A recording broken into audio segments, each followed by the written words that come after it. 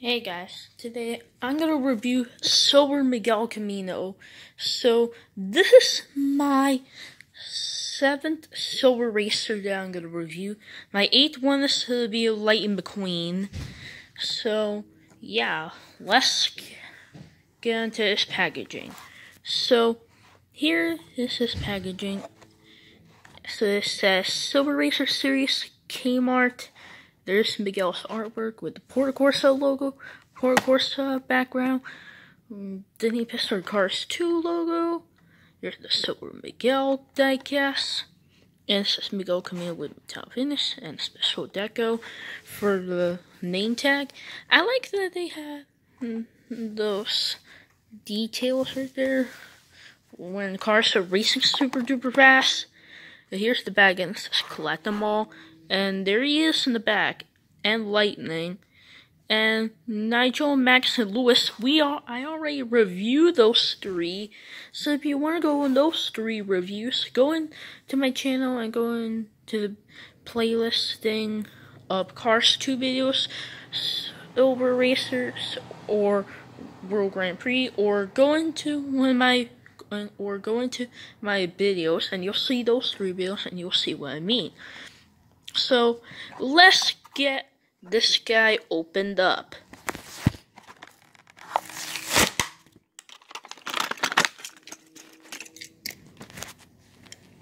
Alright, here he is out of the package, and let's compare him to the regular Miguel Camino. So, here he has those cool designs. Number five, World Grand Prix, powered by Ono. And the back, and there's also a Thailand version of this guy, just like how it happened to Jeff Gorvette. And I will talk about it on Raoul ÇaRoule appeal if he'll come tomorrow or shoot, I don't know. But yeah.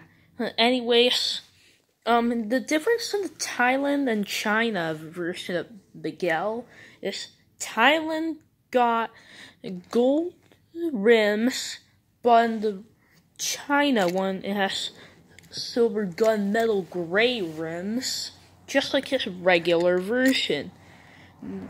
Not only that, in his Thailand version, he has Oh, extra orange right there, but in Thailand, it got some silver right here. And then, heck, and yeah, even the regular, regular Miguel got that orangish yellow color right there. I'm not sure which one this movie accurate.